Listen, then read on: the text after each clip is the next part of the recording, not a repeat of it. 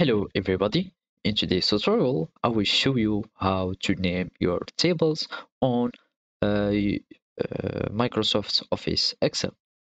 So first open your Microsoft Excel spreadsheet or worksheet and follow these simple steps.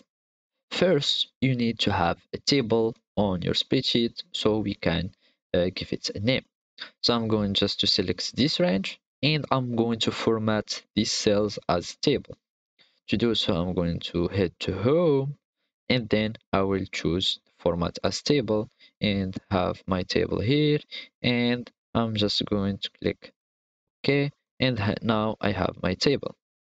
So when you have a table, it will always take you to the table design so you can add things like name and rename your table and resize and everything and the first thing that you you will see in the table design is uh, the table styles table style options.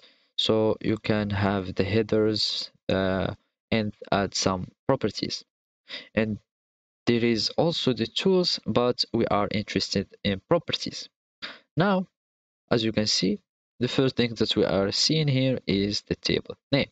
So we are just going to table uh, name it a test so now our table has the name test.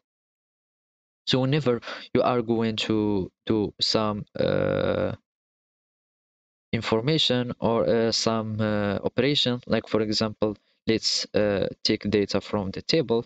So from table and range, uh, I mean existent, get data from the file, from Excel, for example, it's this one. It, should give me uh, I need to save. And as you can see I will get the data from this one and it will consider it as a test table. It will has the name test as you can see. Now my uh, table has the name test. So as you can see uh, this is how we name tables on Microsoft Excel thank you for watching and goodbye